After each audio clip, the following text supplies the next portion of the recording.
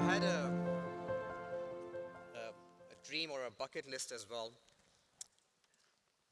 And bucket list had two items that needed to be done before the end of this year. Uh, one of them was to win an Oscar, and the other one was to be the act before the Oscar. And that's the one I'm being today. I'm setting the stage for six incredible and bold experiments to come and share their story. But before I get there, let me thank Dr. Tariq for setting this up so nicely. And why are we here today? So again, let me take you on a very brief journey. This goes back, as Dr. Tariq said, well over two years ago. I met with someone in the Cares team in New York, and I was presenting on something at that time whose mission was to unleash the next human revolution.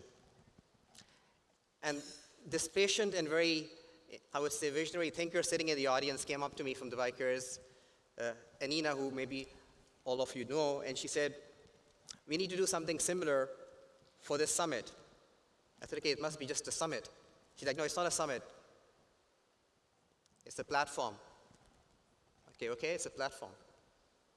It's a platform for building bridges and connections between unlikely allies. And that got me even more interesting because this was something when they said not just the platform for building bridges, but to show that indeed the future is human. So in the last two years, and well over two years, Dr. Tariq, nearly two and a half years, we've had the pleasure of connecting with a lot of you in the audience and outside at this summit to understand what is it that's preventing people from going forward. And we discovered something, we began a process that culminated in something called the system map. If you haven't had the pleasure of walking past a wall that is just in that open area, we would invite you to go there so you can see the work that has been developed over the course of these two years. It's truly been a labor of love with everyone involved. And this map showed us something that we always knew, that education is not an island. Education is a large ocean that connects to many lands. It's a river that connects with many banks. But when we mapped this space as well to the map, we identified what are the white spaces where innovation could probably happen. What are the areas, as Dr. Tariq said, where true boldness can be inspired? Now, there's something I did this past weekend, let me ask you all, because this is the time of the day when I guess your energies are at probably their lowest level. How many of you have ever done an ice bath? Anyone? Ice bath? Thank you, Dr. Tariq. In your dreams. It's good enough. At least you've dreamt it, you've visualized it.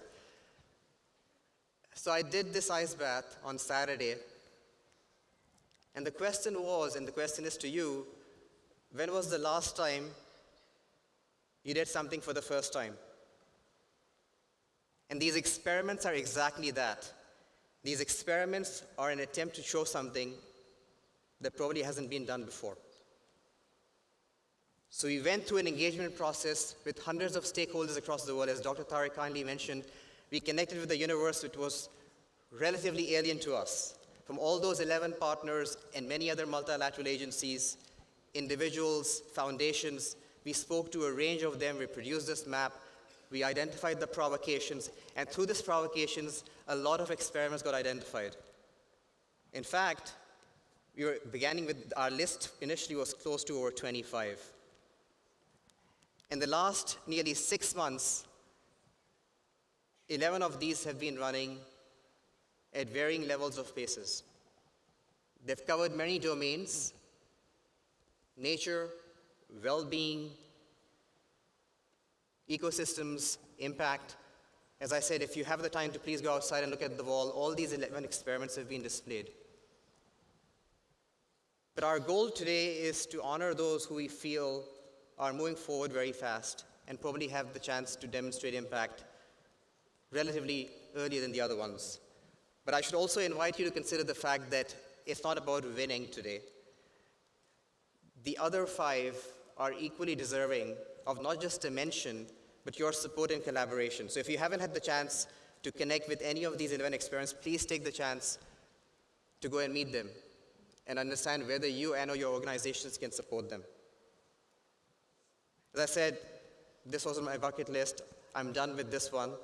I'm going to invite Tom back on stage, and I would say get the drum roll started. So those six, I mean, get your joggers on because we won't give you too much time to come up on stage. I'll, I'll wait for Tom to kind of get things. I'm going to wait over here for you to do so. Please. Aman, bless you. Ladies and gentlemen, put your hands together for the chief provocateur himself, the man behind Radicle.